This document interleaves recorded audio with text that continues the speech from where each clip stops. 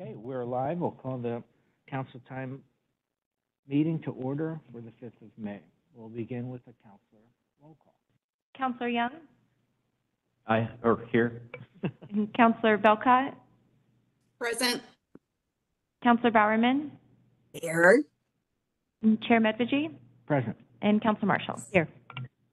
Okay, thank you. Any amendments to the agenda? Chair Medvigy, I do have an amendment to request. Uh, Would that be to add a one 10-minute potential litigation item? No after action. So it'll be the same RCW that's already listed down there. So it'd be nine point two for ten minutes, action expected? No action expected. Thank you. Okay, without objection, we'll go ahead and add that to the agenda in the executive sessions. All right, we'll, uh, go right to public comment on agenda items only. If only we were back in my courtroom, I'd ask you to remove your hat and sunglasses, but no, I'm not going to, because we're not in the courtroom.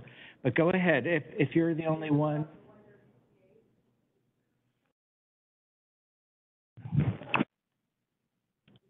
Starting, okay, um, I know about the YWCA because I went there for 15 years. I spent the first six months getting help. Oh, Carmen De Leon, Mill Plain, down the street. Anyways, I spent 15 years there, and they're the ones who kind of got me. It's like you guys, except like it's, it's, um, the, the Speaker of the House, and there's a whole bunch of legislators. And so I used to do advocacy for the YWCA, you know? I spent 15 years, and, and we used to, I, I'm gone through 15 to 20,000 girls, one-on-one conversations.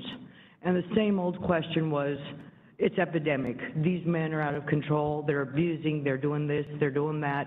Where do we find the good men? Where do they come from? How come they're all abusive? And what we determined after many years of debate is that really, we have to create them, we have to make them. We have to make them from, that's why I say no drugs for let them grow up and give them a, a warm and loving environment. And I'll tell you right now, my name is DeLeon because of my father. He was raised from kindergarten till graduation in an all-boys school, military style because his father was a colonel and his grandfather was a general. So that's in my bloodline to be military style. On my mother's side of the family, my grandfather was a bastard. He lived to be 103, but his mother and his grandmother fought tooth and nail to put him in the number one boys' school, military-style boys' school, where he went from kindergarten to graduation in a military-type environment. He lived to be 103, had 10 kids, and provided a house for each one of them. Never went to jail, never had any domestic violence issues. He was a good man. And so was my father. What's the common denominator? They both were brought up in boys-only military-type school. So you have boys right now that are being brainwashed that, you know, they can do whatever they want. But I've spoken to juvenile delinquents, dropouts like myself, and they have told me the number one thing that kept them, put them back in line was to going to some, um, I guess it's like, uh, a work release, something for kids where they put them in a juvenile, boys only, a boarding house, where he said he actually gained weight, and it was good for him to be under those strict rules. And Barbara Walters went to an all-girls school, and how did she become a strong woman? Because there were no men there, you know, distracting from the education. So I know I have no short time, but I'm just saying, you got to get back to basics. Boys get raised here strictly, and girls there. And the, the other common denominator is that they have loving mothers. Strict environment at school, but loving mothers at home, and that's how you get good men.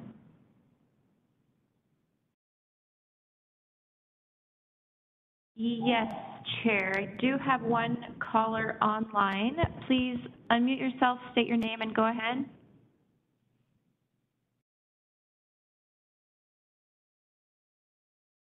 This is Kimberly Goheen Elvin, Patriot Life Citizen of Clark County, Washington, USA. Uh, looking at the minutes in print, um, I do not see where the open public comment speakers, there's three of them, whether they were on the phone or in person. That needs to be listed on there for um, uh, proper transparency of the minutes. So maybe you can add that today.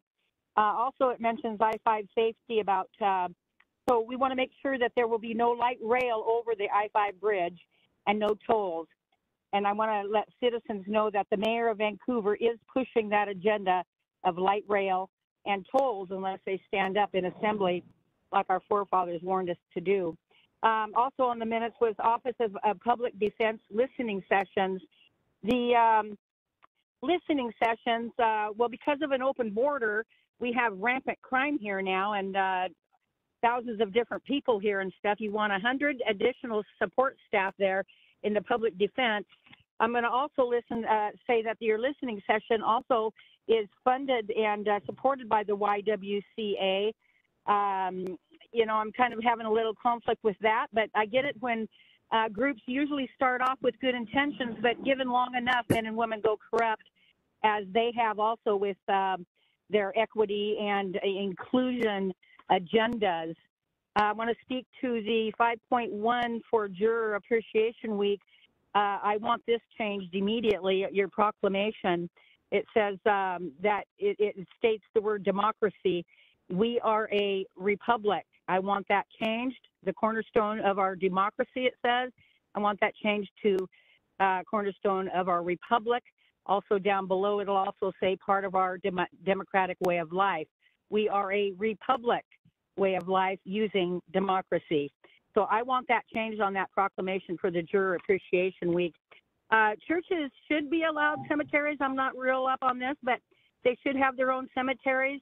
I did not know that they were part of agricultural, but I suggest that they start their own large gardens on their property and uh, for the people and uh, keep big government out of our cemeteries and churches.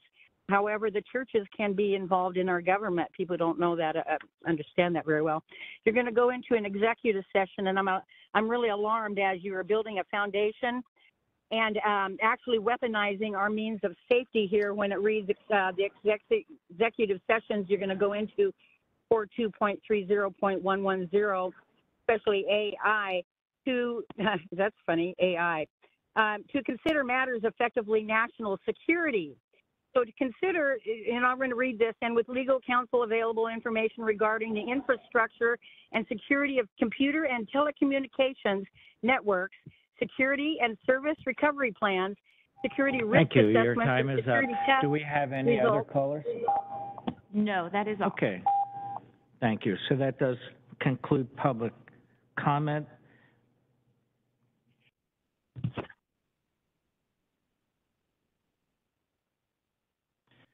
I didn't know whether to uh, respond to the military bashing or not, so I'll- I'll refrain, but I don't know of many, I don't know of any of our service academies that are male-only any longer, or any studies that relate domestic violence to male military academies. But I, and I appreciate the comments and the sharing of, of your personal, uh, life. Um, it is that there are important messages and, uh, so I appreciate your public comment. All right, so old business four point one refers to the minutes. Any changes or corrections? Yeah, I have a small change to suggest. Um, uh, I reported on the listening session for the Office of Public Defense, and uh, it would be better clarifying. Um, it just says right now, it says that I spoke about the Public Office Defense listening session, and the main topic is they need funding and staffing. It kind of sounds like that the Office of Public Defense needs that funding. So I would just offer the correction that the, to say, the- and the main topic is the lack of a funding and the inability to find staff by the counties, if that makes sense. Any objection to the corrections that Counselor Yung is proposing? Okay, um, so motion to approve with that amendment? Move to approve. Second? Any further discussion? All those in favor, please say aye.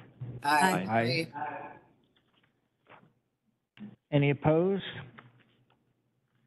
Hearing none, the motion carries. Four point two, board assignments, focusing on the alternates. And, yeah, there's, uh, quite a few, more than half, that we have no alternates. So, um, do we want to just start from the top? And part of that discussion, we've mentioned before that some of these would be appropriate to have an alternate from staff uh, appointed, um, but maybe not so much on, on others. So do we want to just start with uh, elections canvassing? No, I'm sorry, emergency commissioner. Uh, Doesn't that just go from chair to vice chair to whoever's ne- next most senior? We can certainly do that. Right now, it's just, the it just identifies the chair, but if you would like to have the vice chair as the alternate, that's fine. Okay, so maybe I'm confused because I had gotten calls before as the vice chair, hey, we can't get a hold of the chair, but we have this emergency declaration. Isn't that already part of our process? Yes, if there's any need for the chair to attend something or um, receive an award or something, yes, we usually go to vice chair first. Okay, so how do people want to do it? Do you want to have someone by name as, as the alternate, or do we want the vice chair as alternate, as I was proposing, or I thought it actually existed, but, I, I think it would be, it would, it would make sense to just have it be the vice chair. I agree. For, for those positions where the chair serves in the primary role. Okay, we'll make a note um, on the side instead of putting the X to the vice chair, so in the future, um, it will always default to the vice chair. So we'll put that note on all of those items. okay, any objection to that? I think we have three thumbs up for it. Um, going down, Finance Committee, I think the next handful of these are under the same, um, it's the chair.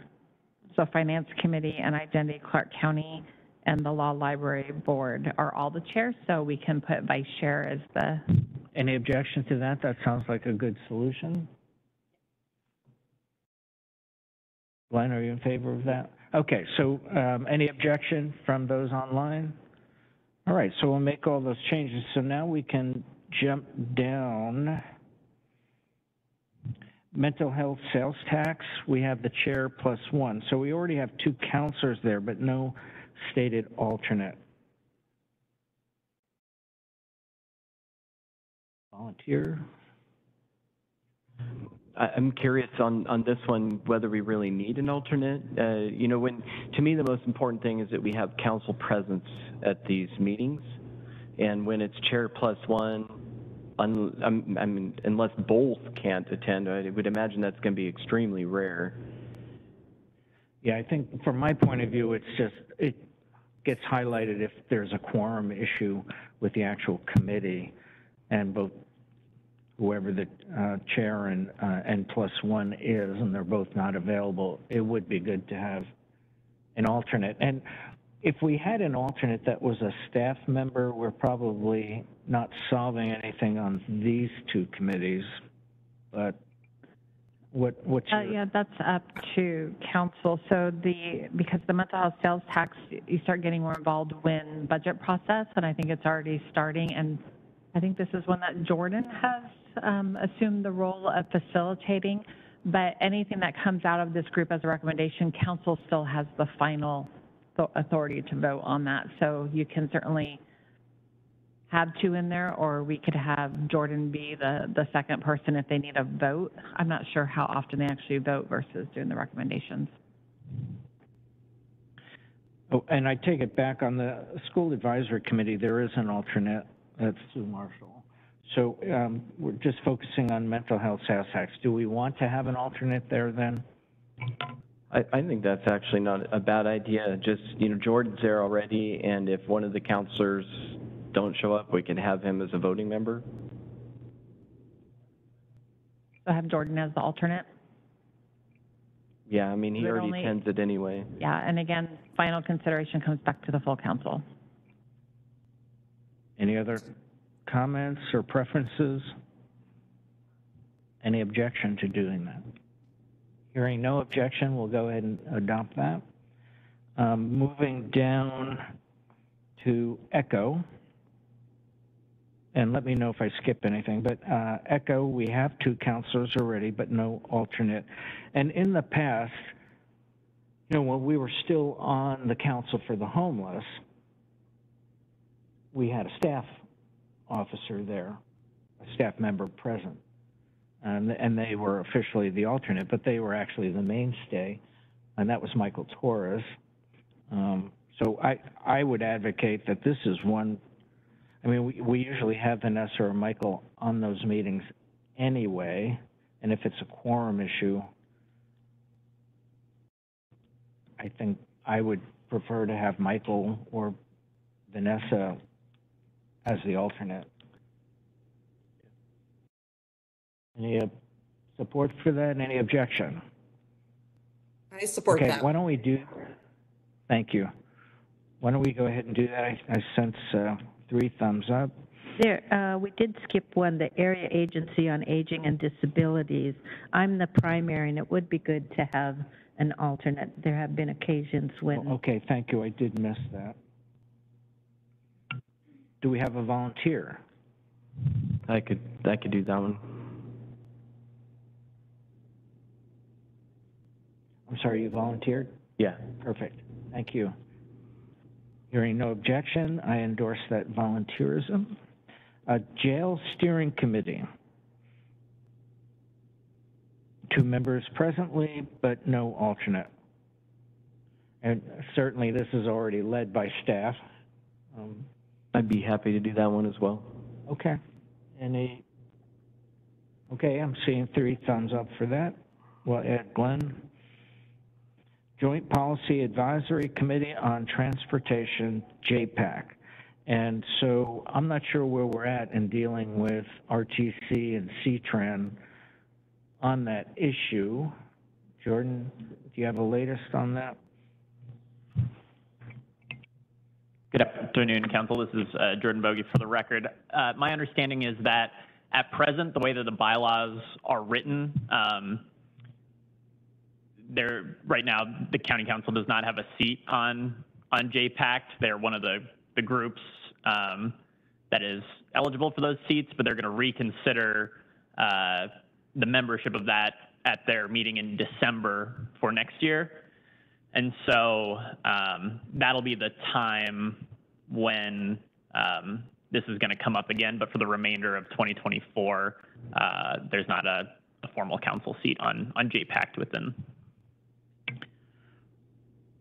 So Karen and uh, Michelle and I have been on RTC, and I'm trying to remember if the three of us, I was the chair of RTC at the time this changed. And my understanding is different from what position they're taking now. Um, We had that seat. My recollection is, at the time, no one on the council really wanted the seat. And at the time, CTRAN was saying, we really want the seat, we can make better use of it, it's more relevant for CTRAN. What we were told at RTC is that the council, county council, makes the nominations to fill the seat. And then they would just fill it at that upcoming um, nomination process that RTC has. So what we, and I publicly said it as the chair of RTC and as a council member here, that let's address this on a year-to-year basis. So we may want the seat back from CTRAN. And that's how we left it. And that's how the vote went. It switched over to CTRAN with the agreement that every year the county council would have first say on whether they wanted to retain that seat. So this process is totally different from what was explained back then, or at least as I understood it. Uh, Karen, Michelle, uh, comments? Uh, yes, I believe their anticipation is to uh, reconsider the membership completely in December. And that would include a counselor, if I recall correctly. So uh, I, maybe it is uh, taken care of without action on our part, but we should note to have a person available in December for sure. Yes, I agree with Counselor Bowerman, and I was interested in being on that committee. Um, yeah, I, uh, it sounded like they were going to have the RTC vote on having either C-Tran continue or have county, a county counselor present in December. So, um, Counselor, or Chair Medvigy, I don't know when that changed, but I remember being courtesy copied on that email that Jordan was where they talked about it in their bylaws, but, um, that's what I understand. Okay, so what I'm hearing is we'll just wait to see what happens. I- I have a clarifying question. So it's listed as J-PACT. Uh, Is that the same as RTC? No. No, Because that is C, we have designated C-Tran for that. Uh, Maybe I'm on the wrong spot. yeah, that includes, um, Counselor Marshall, JPAC includes the, uh, it's Oregon and Washington, so it's all the, if you look at the JPAC committee on the website, it's got county commissioners or counselors from Oregon representing, so it's Oregon, Washington stakeholders. I think we should put down in, for November, a trigger to make a decision for a recommendation on that so that we're ready to go in the event, uh, they agree to go with council in December. And we, that person can help make the pitch as well. So I, I will, ju- so uh, what I'm hearing is we're going to wait to see what happens at RTC. There's three of us who are members, and we'll be there to vote or make nominations. Um, I just want to remind whoever wants to volunteer, and you can see it in the note, one of the main reasons why no one on the council at the time wanted to participate is it was in Portland, and it was at 7:30 a.m but now we're in a virtual world, so some of that's been ameliorated. Anyway, so are we ready to move on? We'll just, Yeah, and I'll just say, we'll, we'll certainly put it on the calendar for November, but I don't think it's just a vote. I think it's a request to change the bylaws to include a county counselor, because currently their bylaws do not include that. So we'll bring back that language, maybe starting the end of October, we'll put on the calendar. Yeah, happy to make a note of that. And I, as, as I recall, um, there are fewer seats than there are bodies that could potentially have seats in that group. And so basically, that's how council is not on it currently because CTRAN has a, has a seat instead. And so council could request to, to have those seats. okay, so I'm hearing we can move on to the Juvenile Justice Council and the one just below it, Law and Justice. Neither one of them have alternates. I think it's important to have an alternate. Do we have a volunteer for the Juvenile Justice Council? And, and you can see by the note, this is one of those that isn't even required that we have a seat, so we don't need to attend. I will tell you that I gravitated towards it because most of my career was on dealing with protecting children. Um, but anyway, what, what, what would the council like to do? I I would volunteer to be the alternate. Okay. Okay, you've got it. Super. Law and Justice. And keep, get me up to speed. Is, um, is Chief Mori still acting? He's, he's the chair right now. Okay, And Counselor Marshall is the vice chair. okay. So do we have a volunteer to be alternate?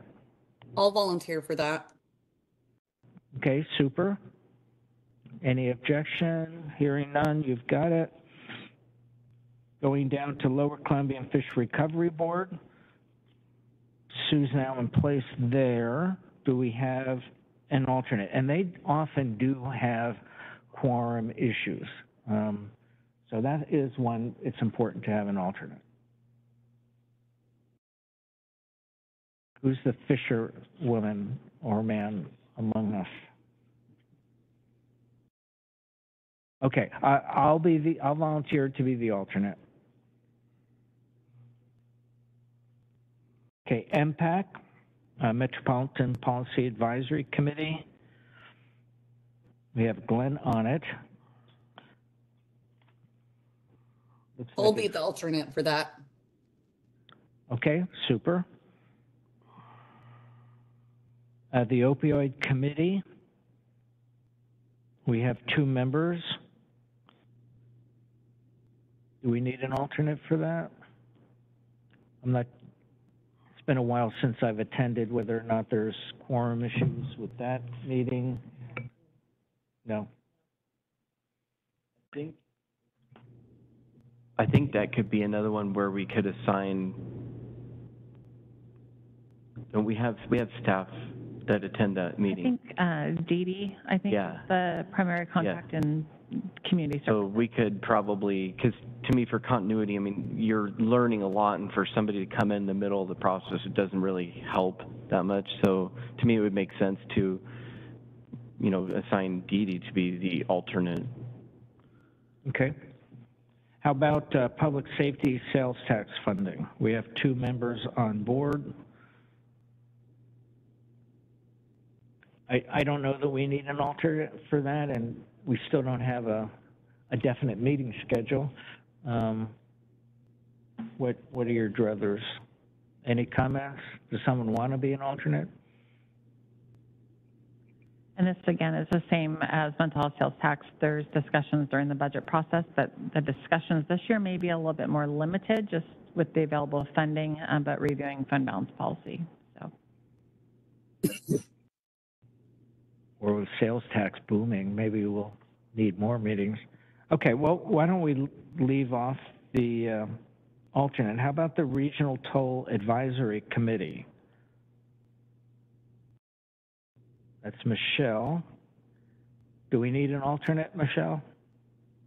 I don't think so, and they're not very active right now because of um Oregon halting the, at least the two oh five conversation with the tolling.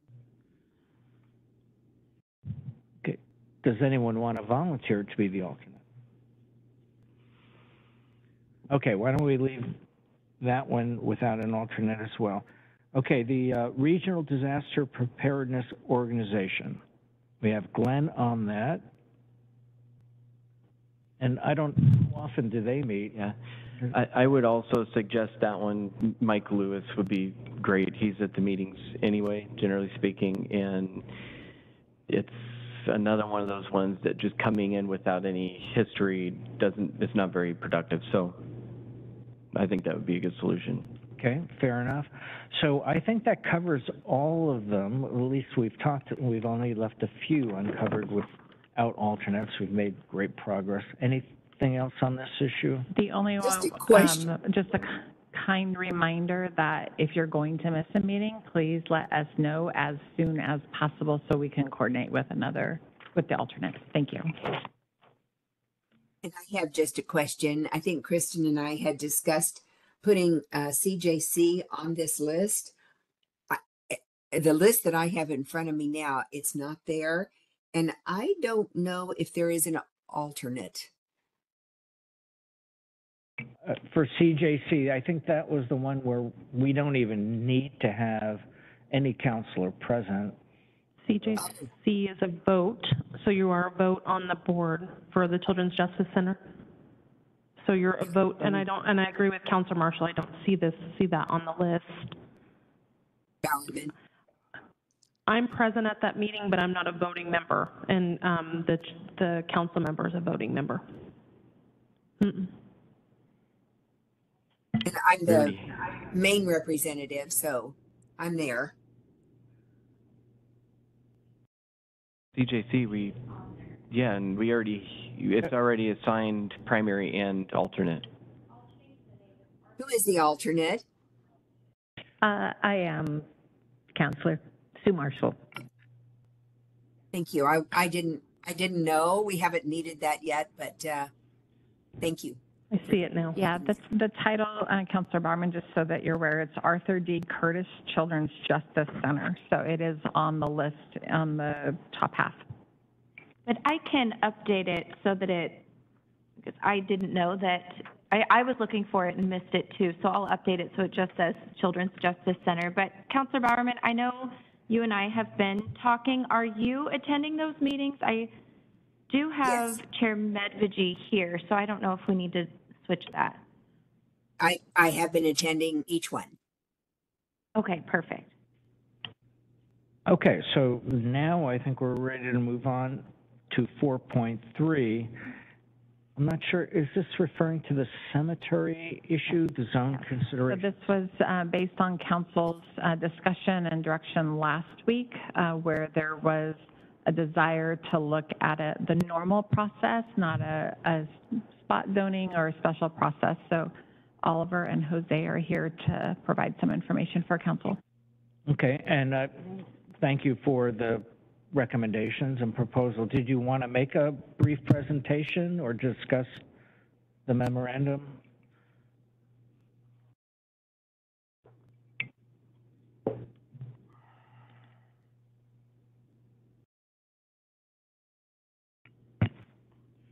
Yes, good afternoon, councilors. I wanted to provide additional uh, background, and it's all also reflected in the memo, if you allow me to. So good afternoon, councilors. For the record, Oliver Orjiako, Community Planning Director, and with me this afternoon is Jose Alvarez, uh, Land Use Program Manager in Community Planning. So um, as the council is aware, this request from Old Apostolic Church for council to consider a code change for cemetery on the property that they own came to the council or to the county um, in late summer, I believe, and we came before you in November uh, to uh, consider the request, and I believe the, the vote at the time was three no.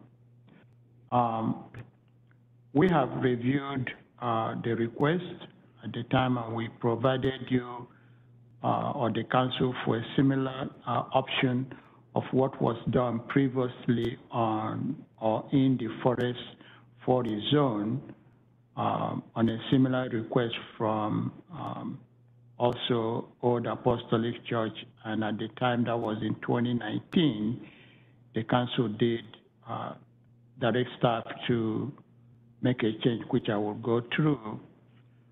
Um, what I would say, councilors, is that in terms of history, in Clark County, a conditional use permit is required for churches in the rural district. That would be, um, Christine, if you go up to, um, if you slide up, here's rural five district, rural five, 10, and 20.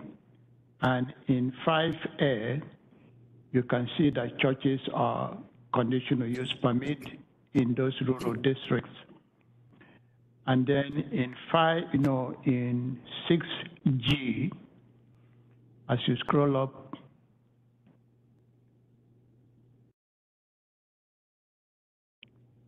Six G, um, no, yeah, six G, you can see that uh, cemeteries and um, other related uses are also um, conditional use in the uh, rural five. No, I, I, I really want to say eight G, if you can go back up.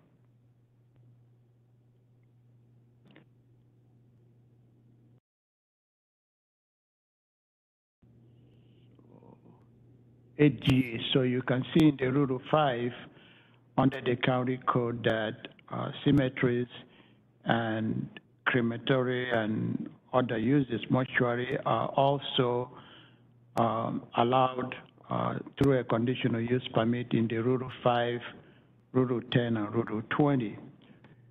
When you get to the resource district, if you can scroll up, in 5A, you can see that uh, in Forest 80, churches are not permitted, as well as in ag wildlife. So it's only a conditional use permit in Forest 40 and ag 20. When you scroll down to 8G, no, 6G, excuse me, 6G,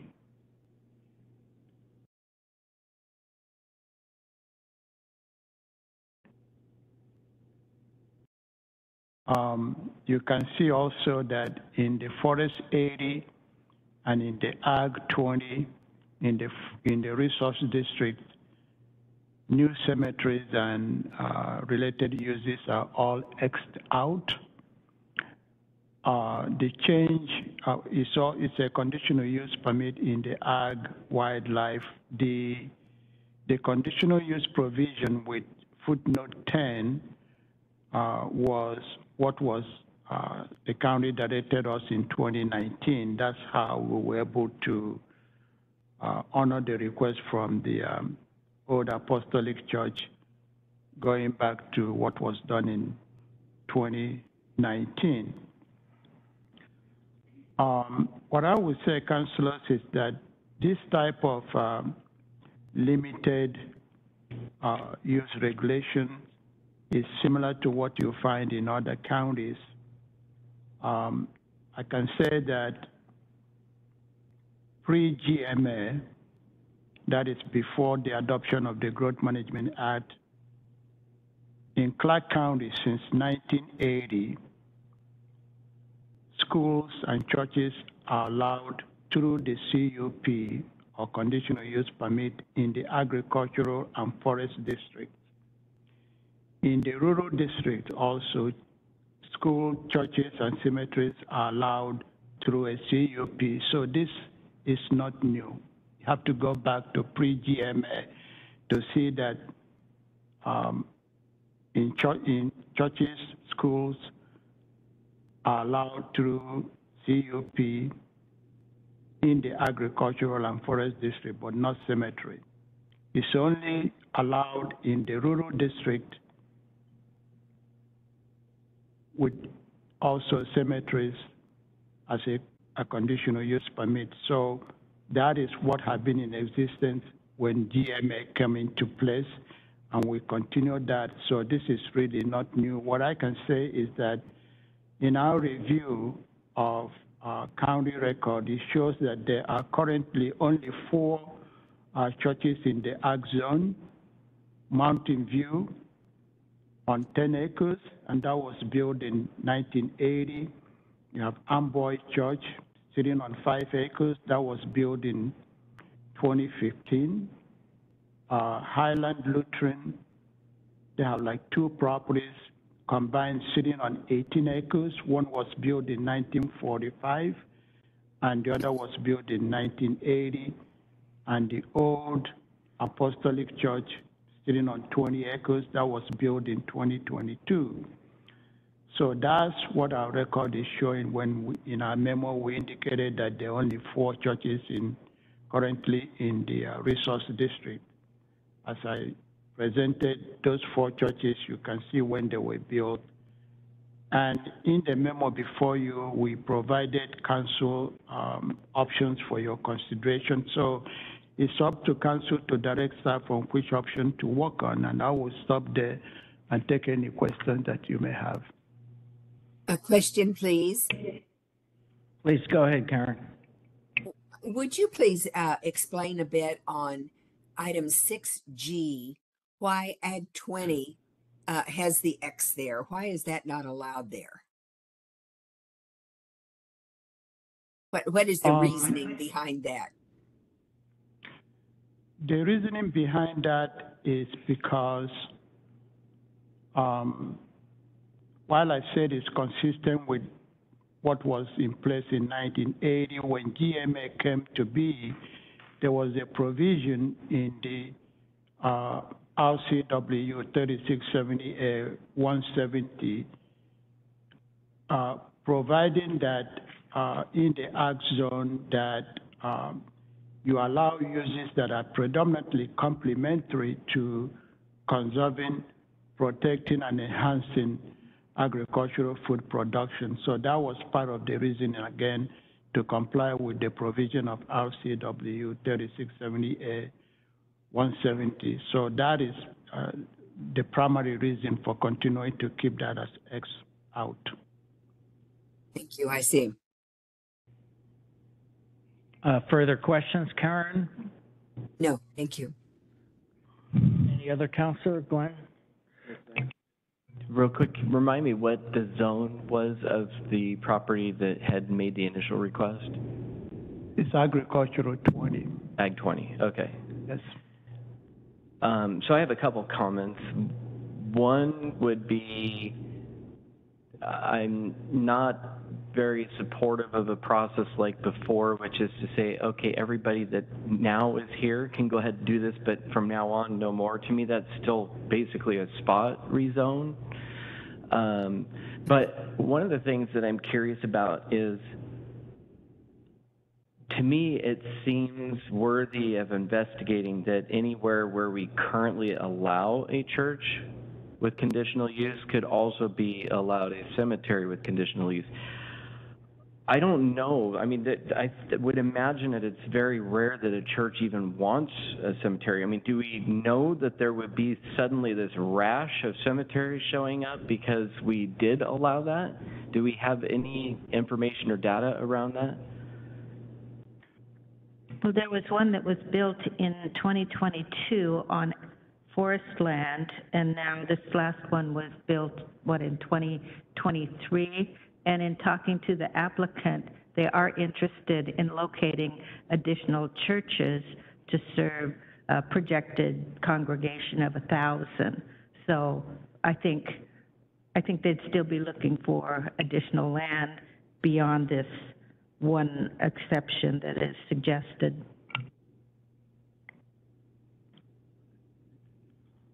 Um, the only thing I would say, Councillor, is that you asked the question, the, the churches that were built in 2045, 1980, 2015, and also another one which was the Mountain View built in 1980. They have not requested that they have a cemetery, for example. So they knew, I, am not speaking for them, but I'm sure they knew that uh, that is not permitted in the Ag zone. They have not made the request. This request is coming from Old Apostolic Church, and it was a similar request that they made when they built the church in the forest zone that prompted the council at the time to ask us to uh, make the change that we made. If you restrict this, it's not going to be a zone change. You're not changing the zoning.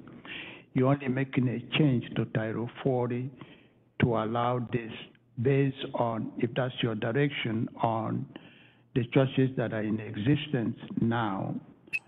Um, if you then decide, as Councillor Marshall was saying, based on your conversation with Old Apostolic Church that they want to build additional churches. I don't know if that is going to be in the Ag zone. If you were to open that up, that will require us to do some research as to how that will comply with the RCW 3670A that I mentioned, and that could be done if that's your direction.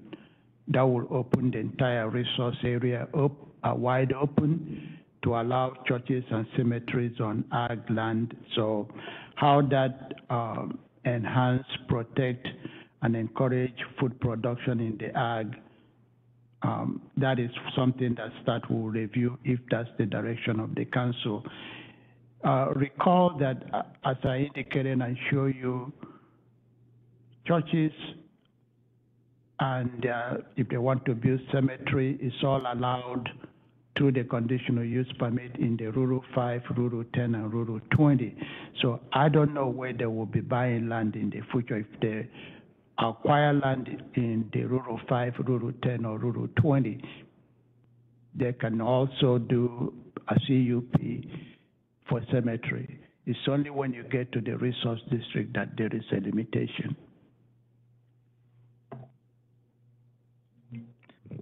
So, let me, let me weigh in. I- And Michelle, I don't know if you, you weren't present at the last meeting that got us to this one. Um, and I don't know if you met with this particular church. Let me just say what the salient points are for me. Uh, one, um, among the most solemn support that a church can give its parishioners is how they commemorate the dead. And this particular church doesn't have a safe alternative right now for the cemeteries that are available to them. I am looking for a solution for them. Some opportunity where they can create their own cemetery, and I believe they wanted to do it on four acres that they now have adjacent to their church, on their church property. So as to Glenn's point, you know, we, we can never bind, uh, future council and changes to code. We can't do that.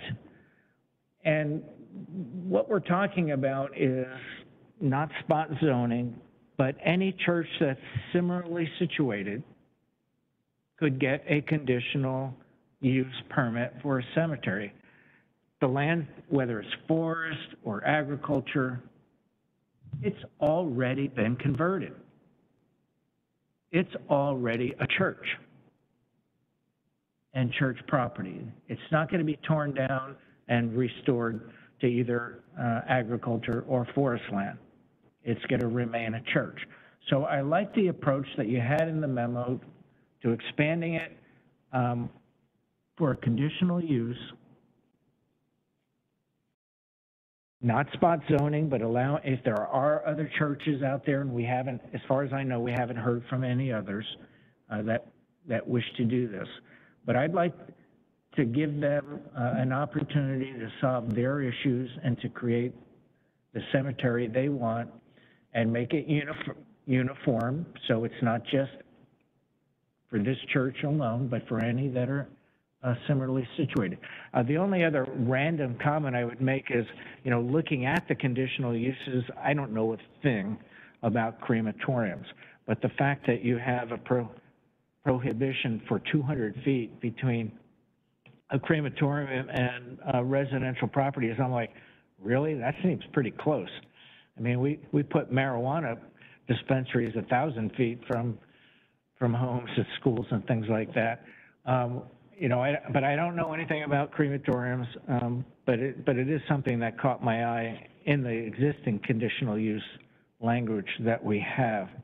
So anyway, I'm in favor of, uh, moving forward and allowing, uh, giving them an opportunity through a conditional use process. Um, Michelle, you're the only one that hasn't publicly spoken up about this. I don't know what your questions, concerns, or thoughts are.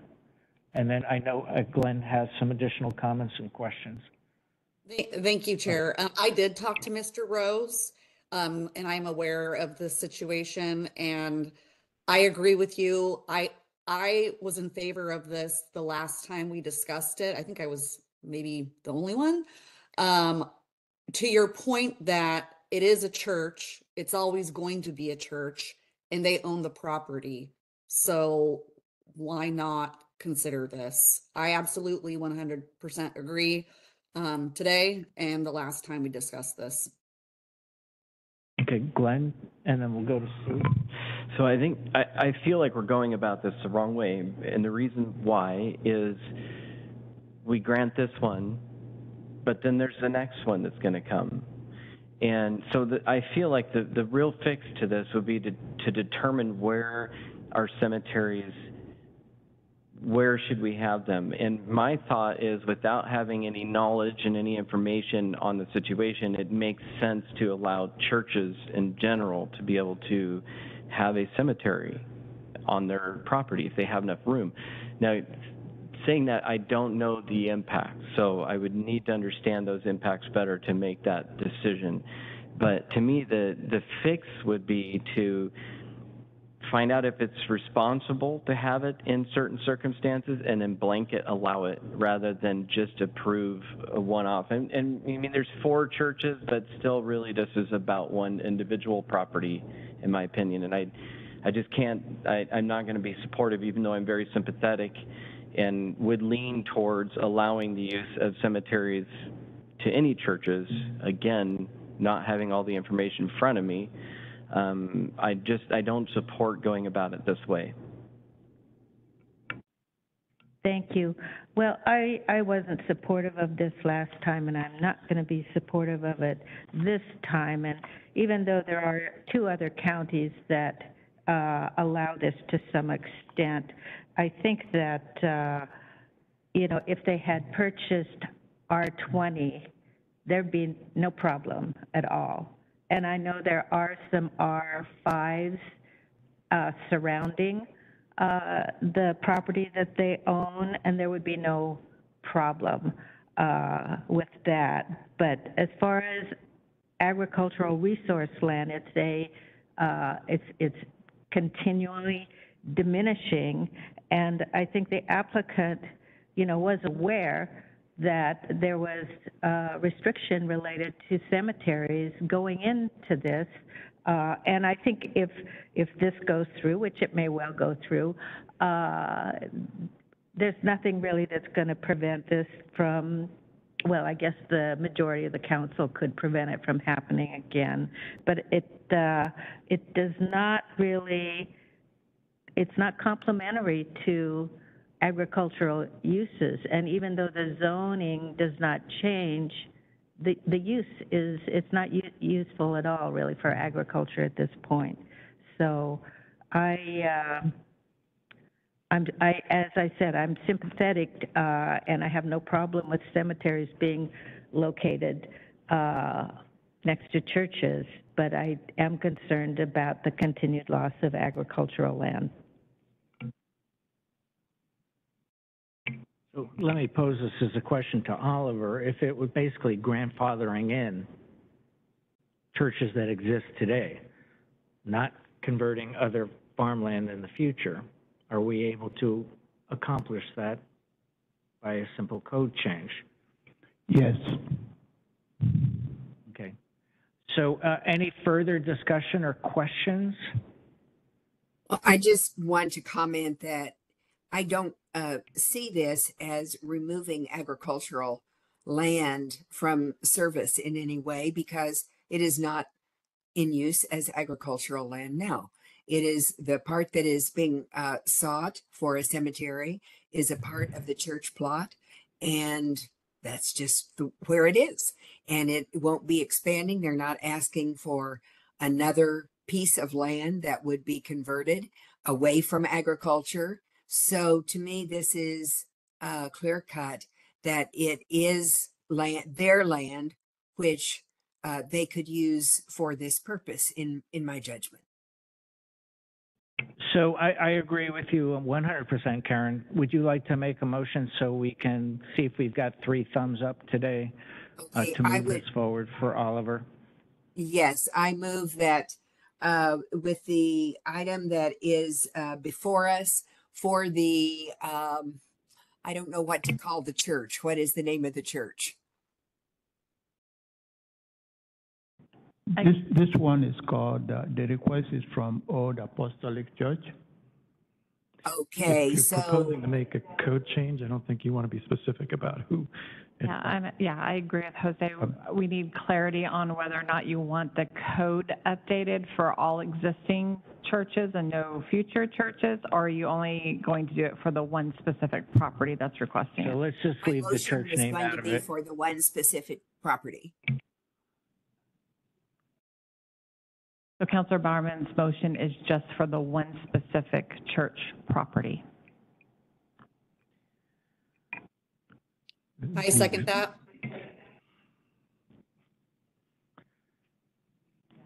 Okay, uh, there is a second. Further discussion? I have a question before I want to ask Oliver and Jose, can this be done only on one specific property?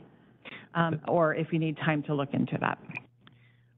The proposal that we put in front of you was to use the same methodology that we used last time for the forest zone designation that applied to the existing churches at the time that the code was adopted. So it would apply to this church and the three others that are currently in existence. I don't think we could do anything more specific than that. That would be fine with me as far as a, an amendment to my motion if, um, you know, if that's the way that it should be. I think that would be fine. I, I wasn't wanting to expand it to all churches that might come to be in the future. Yeah, my comments and discussion last time was I wanted to avoid any legal argument about spot zoning and to be fair for any other churches that are similarly situated. I just always thought that was a more fair approach, even though it may only, in reality, right now, apply to this one church. And that was uh, also, I think Counselor Yung had raised that objection originally when we first had voted down the, the initiative to spot zone. Further discussion? Yes, Chair. So my biggest thing is ultimately, it looks like there probably will be moving forward with this, which I will be happy in the outcome because I do like them to see, I do like to see them get their cemetery, but I still think that the process is wrong, especially the fact that one specific church was mentioned. This is a spot rezone in, you know, in all ways but name. So when you limit it and you say churches that are in existence now can do that, but that's only four churches, this to me is going to set it up to where in the future we're going to have another church that buys a property in the land that's not properly zoned or according to code, and they're going to come before us and petition to have another cemetery. To me, the proper way to settle this is to evaluate should we have it in this specific zone as a conditional use, go through that information, and then allow any church that fits those parameters to have a cemetery there. So I can't support it as it's being proposed right now. I want it to exist, but this is not the proper pro- procedure to do it. Glenn, would you like to make an amendment to the motion and expand it the way you've just described? Well, my, my amendment, if accepted, would be to send it forward to staff to look into the impacts of allowing a conditional use cemetery permit at all locations that currently allow for a church with a conditional use permit. I will second that. For all the reasons I previously stated, I just think it's a more fair process. I have a question. Is this, would this be, uh, subject to an appeal to the Growth Management Hearing Board? Is this consistent with, uh, the protections on agricultural land, from your opinion? I, I think the, the proposal that we put forward, um, well, I agree with Counselor Yung that generally this is probably not the way you want to do this, but there's a unique circumstance with the resource land where we have to show that we're trying to do this balancing act. And so we're limiting the impact by limiting it to the existing churches. Yes, and that would be the information that I would hope that staff would look at. Um, you know, look at it openly, look at the counties that are currently allowing and see what's happening there to understand, because I, I, I understand that, but I also see this as, I don't see a large number of church all of a sudden opening up and, and building cemeteries on their property. Most churches don't want a cemetery on their property, even if they could. And I just want, would add, based on Counselor Marshall's question, you know, it, maybe it's splitting hairs, but we're not talking about converting agricultural land. We're talking about existing churches that are not agricultural land. They may have been within a greater agricultural zone, uh, but it's not converting forest land or agricultural land to cemeteries. It's allowing a church that exists today to build their own cemetery on a small portion. So, Chair, just to make a correction, so my motion would, would expand that potentially, because my motion was that any, any parcel that's zoned appropriately that can accept a church unconditional use could also apply for conditional use for a cemetery. But again, I'm, I don't know if I'm in favor of that, but I am interested in, in having staff look into that and bring us information so that we can make a decision on whether that would be the appropriate course to go. So eh, I would like to move forward with votes on the two motions, the original motion as well as the amendment to the first motion. I would just make this observation. It sounds like we have four counselors for and one counselor opposed. But then there's a two-two split on what's included and what's not. With the original motion basically restricting it to a single church, which I think causes the spot zoning issue and legal, uh, Or to the raises legal issues. Or, or to the four churches. To the four. I'm sorry, Karen, it was four. You're, you're not limiting it to just the single church that you started to name, but to four churches. Correct. Okay.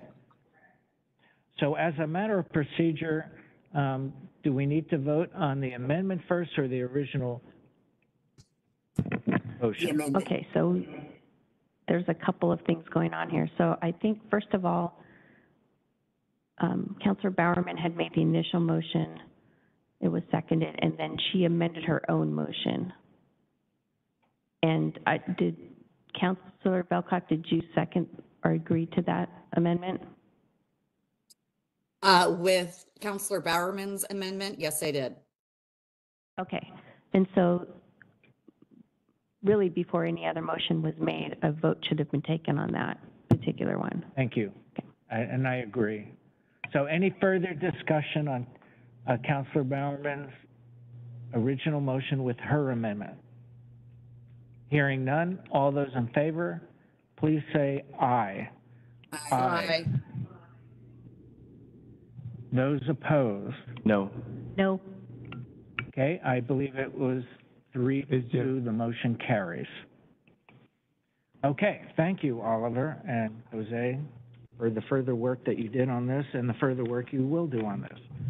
So the next step will be, Just real quick clarification. So just in terms of procedure, so the second amendment really wasn't valid because the first amendment had never been voted on? Okay. correct, right. We- I, I should have jumped in, but there, there was discussion, so, but yeah, that's, Gotcha. Thanks.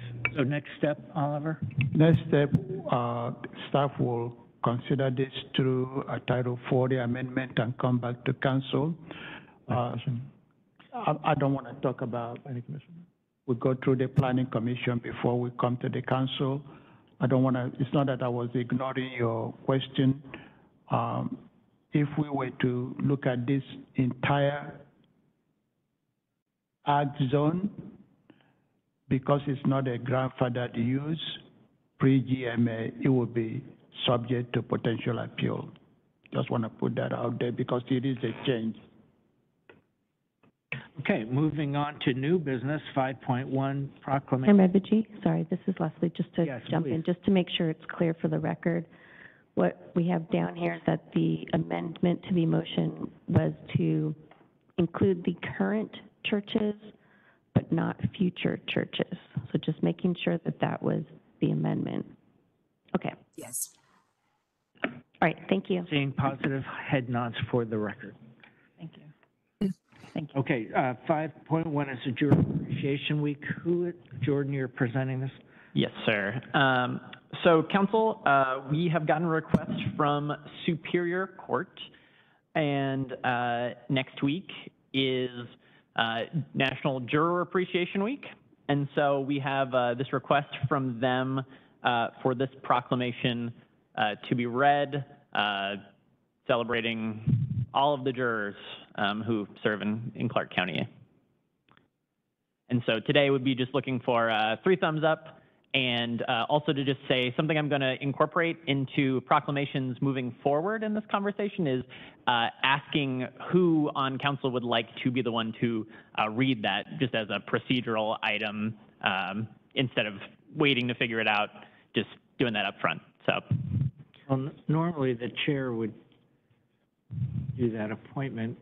well, that that's gr- I get. I'm happy to de- defer to you, Chair. So normally, I'm, I'm always looking to cut down the, the word count on these proclamations. Some of them are outrageously long, tedious to read, and lose the attention uh, of the public. Uh, This one is so scant. I mean, I- As a judge, I did better speeches to this to get, convince jurors to be willing to cooperate and not try to do everything they could to get out of jury service, but to actually participate. I'm just, so I'm, this one's really thin. I wish it was, uh, had a little bit more substance to it. But I, I- you definitely have a thumbs up, and I would like to read this, because I may ad lib before and after to highlight some additional points. Other comments, questions? Do we have three thumbs up to have this proclamation? I, I support. All right, it's universal. Thank you. If you could add a- another line or two, that would be great. About, I mean, it's so important. And we've just had some aspect of it locally, as well as on a- one of our border states, where a jury acquitted in a criminal case. It is the most fundamental right, and everyone out there would want a jury for someone they love, for themselves, to be able to sort through charges. Sometimes a prosecuting attorney files against the wrong person. Sometimes they overcharge. Sometimes they file the wrong charges. You know, jury service is critical, and of course, that's not even getting into family and civil rights. Uh, juries are precious and, and an absolutely fundamental cornerstone of our Constitution, whether you call it a democracy or a republic. I think that's uh, unimportant. It is what differentiates us from many countries in the world, having a jury of peers. So anyway, uh, you have your three thumbs up, you have five thumbs up, and read it, whatever it looks like at the end. Awesome. Thank you, Chair. Counselor reports, number six. Anyone at the podium? Anyone online? I have a quick report. Go ahead. Uh, This this was an email that went out to all of us counselors uh, from the Washington uh, uh, County um, Associate, Washington State Association of Counties about uh, Clark County being the host county for their uh, upcoming uh, conference of count- counties, and that'll be now November 19th through the 21st. So uh, they are looking for recommendations on speakers and entertainment and thoughts on their visit to the area. So I just wanted to highlight that and put that on people's uh, radar.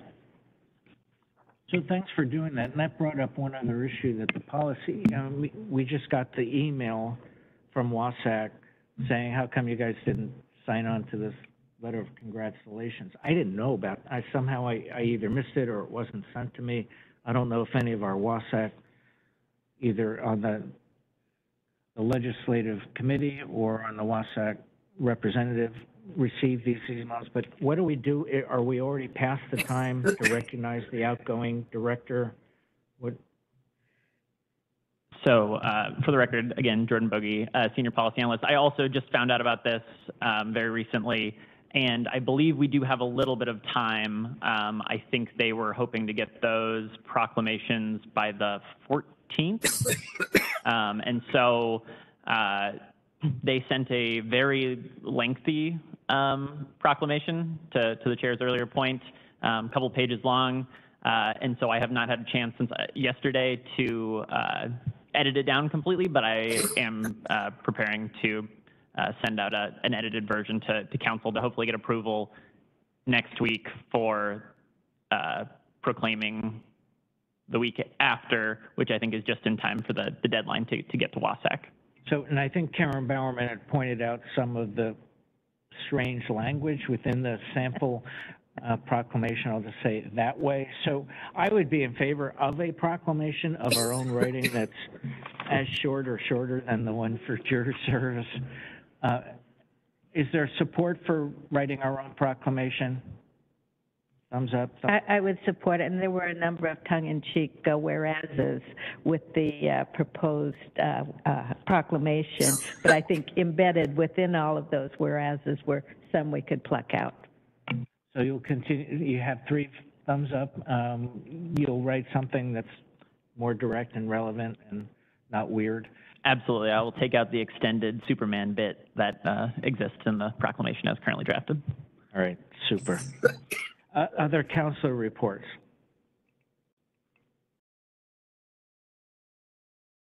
Work session requests. So if I understand correctly, this may actually have come from you, Chair Medvigy, and it's a work session request with the YWCA where they can share the services in Clark County um, as primary domestic violence and sexual assault and, and also share how they're responding and collaborating with community organizations and law enforcement to help reduce that in the future. So I'm happy to summarize this, and I think there's two issues here. Uh, One is, um, they've offered a tour to all the counselors. I don't know how many have uh, been to any of their facilities before. Um, And I think the, the one I'm going on is this Friday. Um, And so we can do two at a time if other counselors are interested in attending.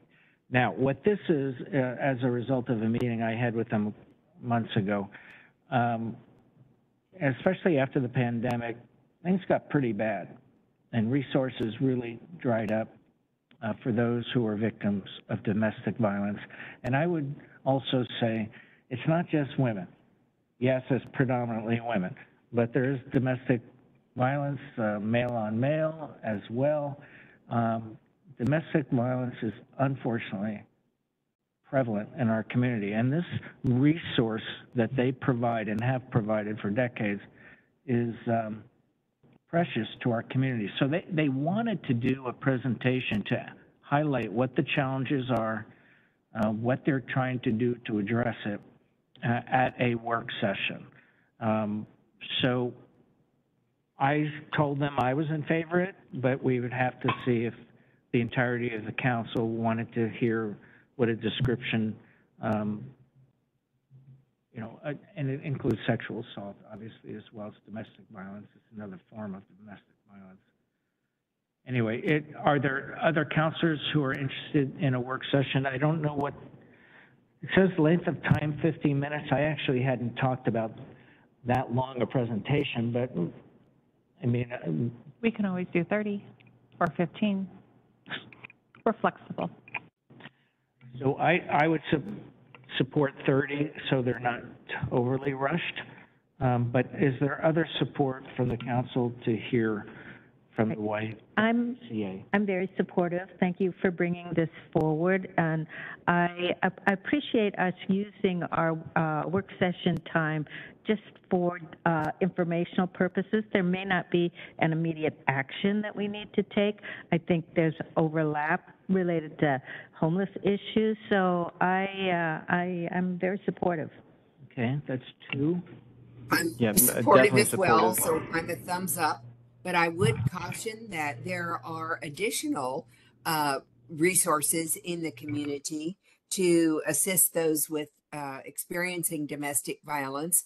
And I don't know if they could be mentioned or highlighted in some way along with the why, but um, they are important too. Yeah, just saying I'm supportive as well, and, but also think the 30-minute time frame would be a little more appropriate. Okay, I'm so I think we have, well, and I think 30 Thank you. minutes is good. And I will be on the tour on Friday with you as well, Chair. okay, super. Thank you for that. We'll look forward to their presentation. Uh, I'm not sure how far out we're scheduling them now or when they would be available. Uh, policy updates. I've got a few items for you today, counselors. Um, a few short ones. Uh, so the, the first one is just related um, to the conversation we just had. Uh, there was a question from staff, uh, and maybe this is to the to the chair and then the full council about um, the treatment court month proclamation that council had approved. Uh, and there was uh, a question about who was interested in uh, reading that particular proclamation.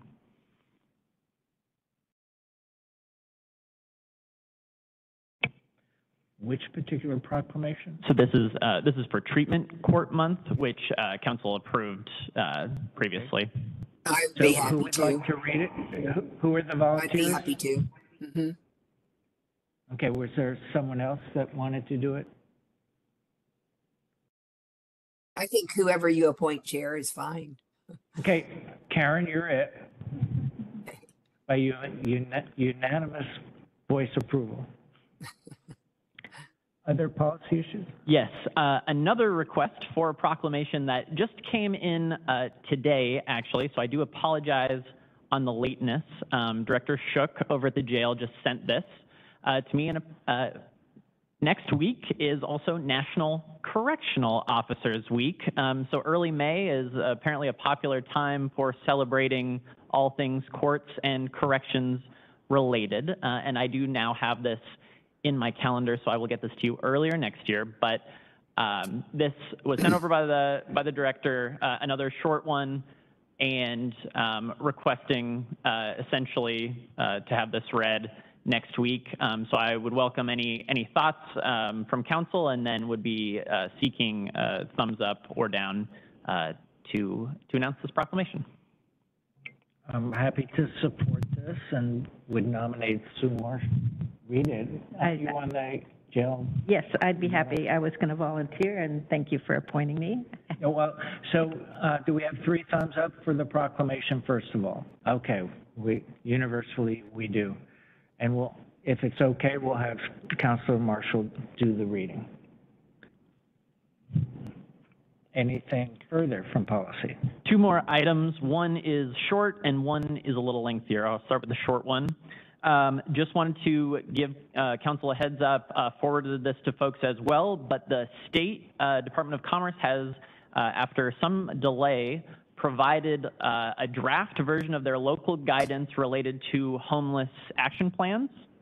And so, um, so, you know, Council for Homeless puts that together, uh, on a, I think, every five-year basis typically, um, and the state comes down with, with different requirements, but, uh, they have just released their, their draft guidance, um, for localities, and so they're, uh, looking for input on that, and so I'm sure, uh, staff will be able to provide some of that, but also wanted to just, uh, let council know and, and the community. Jordan? Oh, sorry.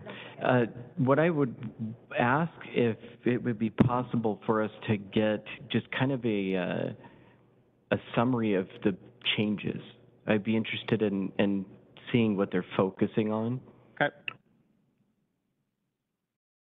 Yeah, and uh, I know they have uh, a public comment, and uh, I I was thinking we should send that out to the uh, members of ECHO. And uh, do you- do you recall when that deadline is for submittal of comments? I believe, oh, I have it written down. It is June 7th.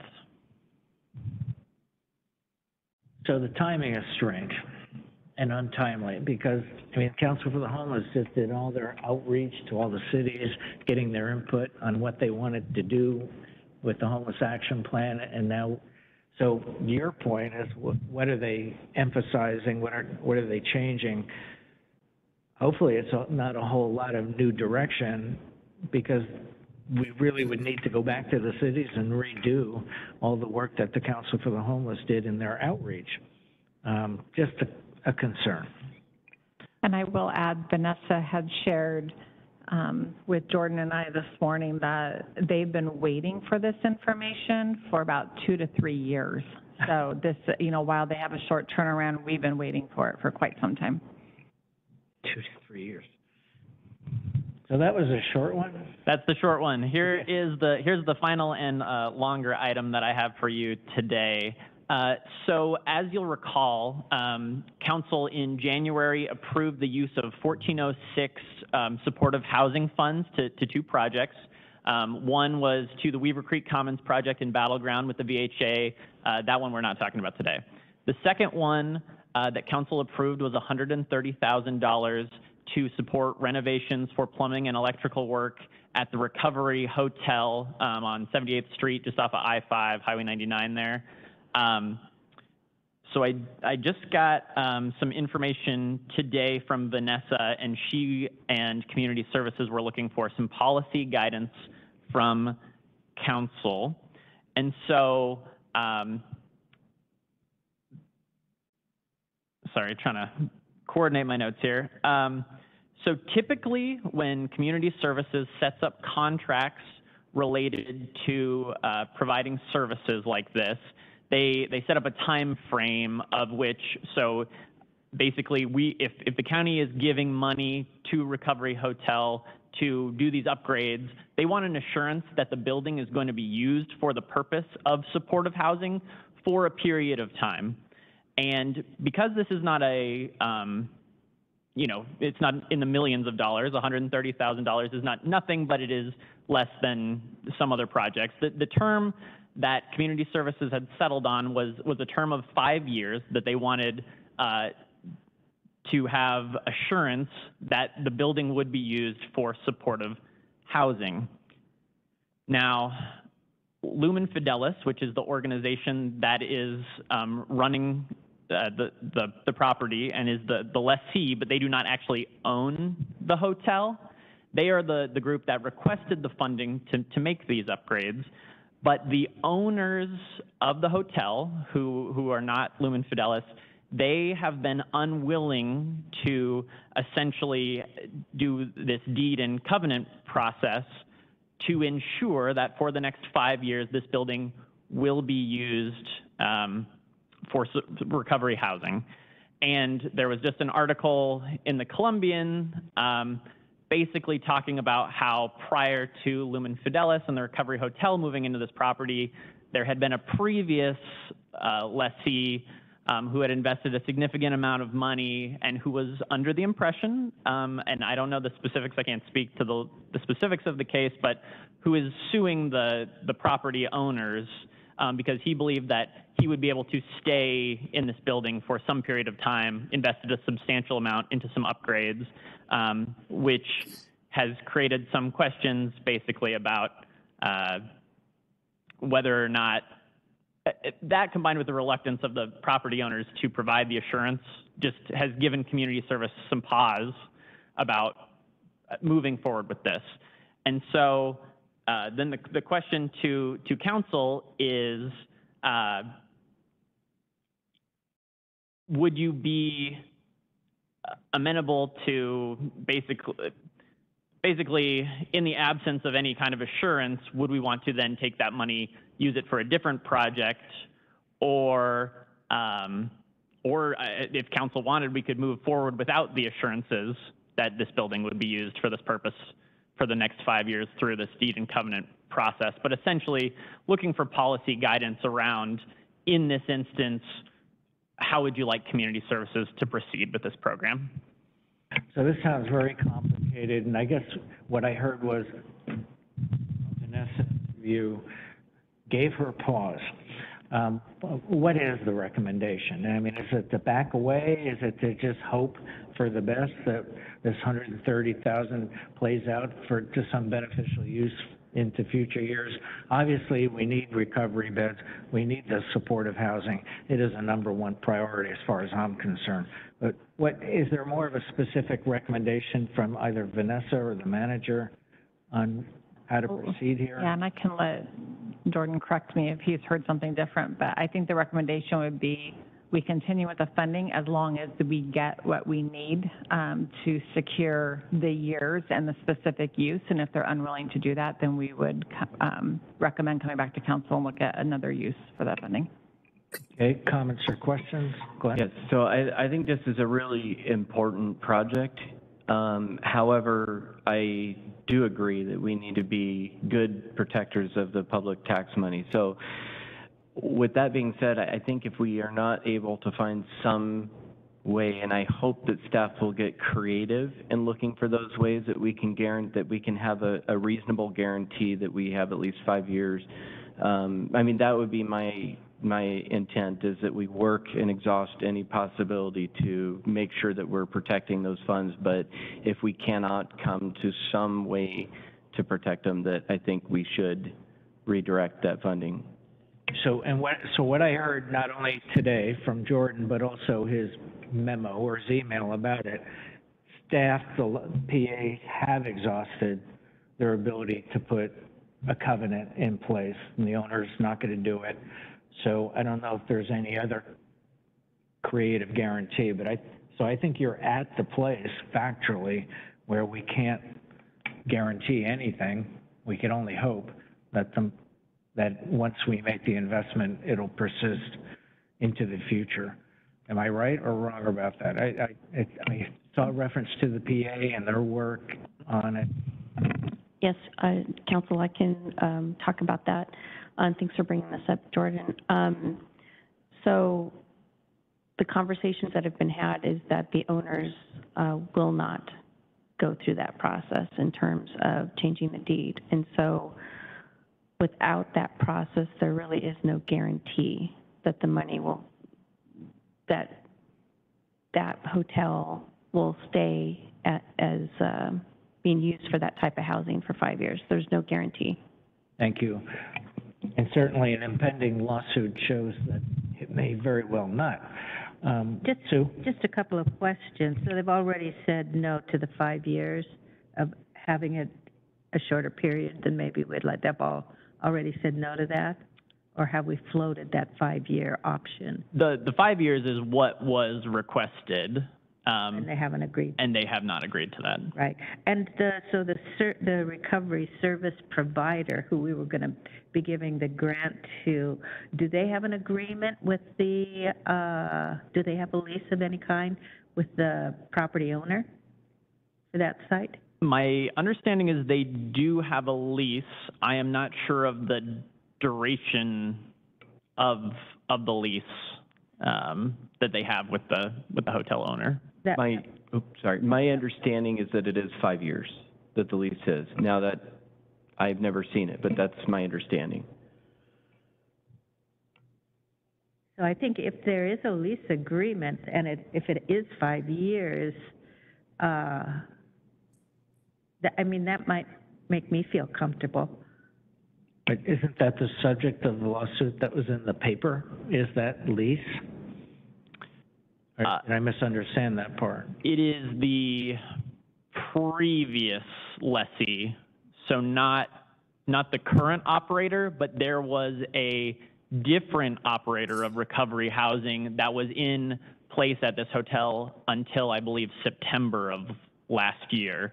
And then this request came to us in December of last year, and then council uh, approved in January.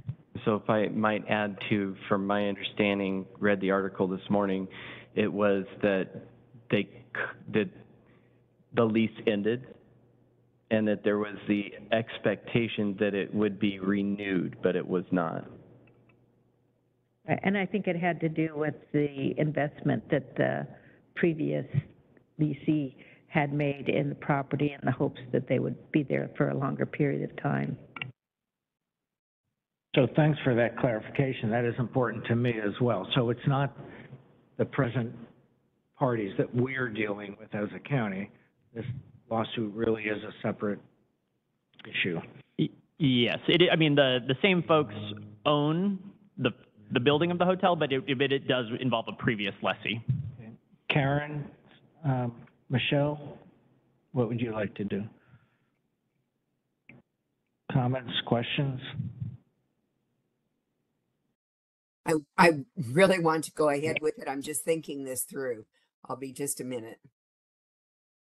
And one thing we can do also is get a copy of the current lease and see what, if there's any termination clauses in there that would reduce potentially the five years and cut that short and bring that back to council. That would be great. That would make Yeah, me so I'm helpful. Go ahead, Karen. That Go would ahead, be Karen, I'm sorry. very helpful. Okay. And Yeah, I said Michelle? the same, I said the same thing. I would like to take a look at that because we've had issues with leases in the past. Um, yeah, I would like to look at the language in there. All right, so can we put this off to get that answered? Because I would feel, uh, you know, again, it's not millions, it's hundred and thirty thousand. If we could get five years of use, even though no one will guarantee it, but the lease supports that five years of use, I think that is a good investment in this program. Um, that would be my druthers. So could we, So one final question. So if there is nothing in the lease that would allow the termination prior to five years, can staff just move forward with the direction that we were doing? And then if we find language that it could be terminated sooner, we'll bring that back to council next week. I would say yes, I, I would be supportive of that. Just one kind of question about that. I- I'm, I'm curious. Is it our normal process to require a covenant, or were there specific details to this agreement that, that was being required? So my understanding is from my conversation with Vanessa that this is typically uh, a requirement, and often it's it's longer, 10 or 20 years. Um, but because this was a, a smaller investment with a with a smaller community organization, it wanted to be like the five years was uh, trying to be more flexible. Okay, so as much as I want this to go through, um, I would like to have more, I don't want to just give the green light that if we have a five-year lease that we just do it. I would like a little bit more information to understand what level of risk we would put, be putting ourselves, or not uh, risk, but loss of the use of, good use of those funds. So if that makes sense, um, I mean, if it's our normal process to do a covenant and we're not getting it here in this particular situation, what is that exposing those funds to? That's, that's something I would like to understand better. so those are all interesting questions, but I think we've had three at least. We had Karen, Sue, myself. Michelle, how are you voting to move forward? Yes, yes. Okay, so with, with, uh, the ch- manager's proposal to move Yeah. forward unless there's something comes up that's Thank you. And I will just say to Jordan, another piece to look at in that lease is the uses. If there's any way that they could change what the use would be during the, that term. But yes, if there's any concerns outside, we'll bring it back. Um, and we'll let you know either way, but we'll bring it back to council if we need to. Thank you. So that concludes the policy updates. Thank you so much, Jordan. Uh, so we have two executive sessions with our lawyers. Uh, nine point one and nine point two, both p- potential litigation, each for ten minutes. Neither anticipated action afterwards, and it's RCW forty-two point thirty point one ten, paren one, paren little I. So, um, does anyone need a brief break? Otherwise, we could start our executive session at, uh, two thirty-five and anticipate to come back on the hour at three. Is that okay? Or does anyone need a break? Okay, we'll go back and, uh, go into executive session, then we'll be back at the podium at three.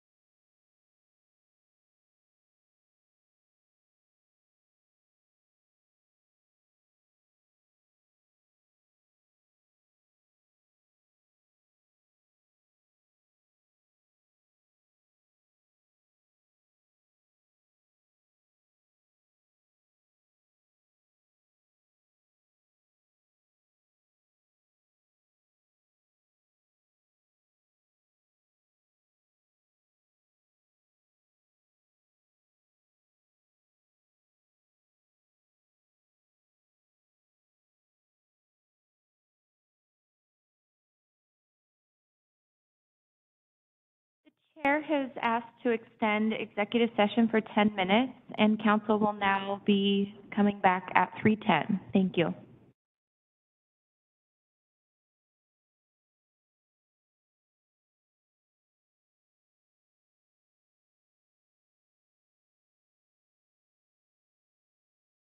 Hello, the chair has asked to extend executive session for another 10 minutes, and council will now be coming back at 3:20. Thank you.